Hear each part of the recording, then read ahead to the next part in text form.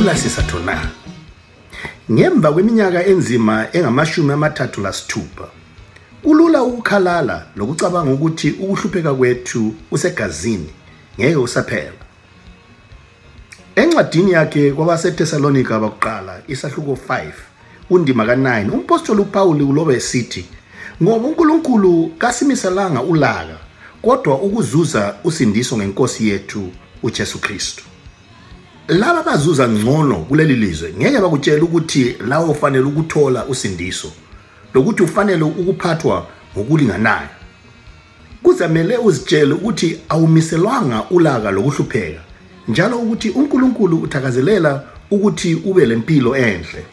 Khumbula amazwi kaJesu kuJohane isahluko 10 kundima ka10 isela kalizi ngaphandle kokuzakweba lokubulala lokubhidliza.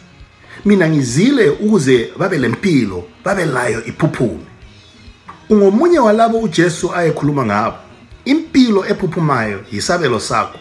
Ngakho ke ulesizathu sokubhekana lokwesaba lokuphela umoya kwakho uzikhuthaze ngokuzibuza ukuthi akula sizathu na. Sifunda njalo kuDeuteronomy 32 kundima ka8 ukuthi uNkulunkulu wanikeza izizwe ilifa lazo hathi indawo zokuhlupheka. Pho ke akula sizathu na? Leli yilizwe lakho.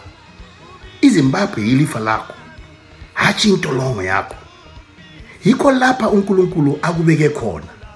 Indawo lapho wena kanye losapho lwakho kumele licelese liphumelele. Kuqakathekile ukukhumbuzana ukuthi ukuqunga isibinde akutholakali ngokuba semhlambini kodwa kulabo abanjengoDavida abalakho ukuzibuza ukuthi akula sizathu na? Baphakame babhekane loGoliath ukuze inzalo elandelayo ikholise ilifa layo. Isibindi singatholakala noma kuDebora unkosikazi kaLapido okwazisisa ukuthi inkululeko kaIsrayeli yayingeza ngokuzimisela kowesifazane owananzelela ukuthi kulesizathu sokuphakama lokumelana lesitha akula sizathu na? Leli lizwe lalithembisa intuthu zazithunqa kobulawayo. Kwakulesikhathi lapho ukuthola imfundo kwakutholisa imisebenzi lapho izisebenzi zaziholiswa ngokufaneleyo lapho ukuya esibhedlela kwakungatsho ukuthi ususiya kufa.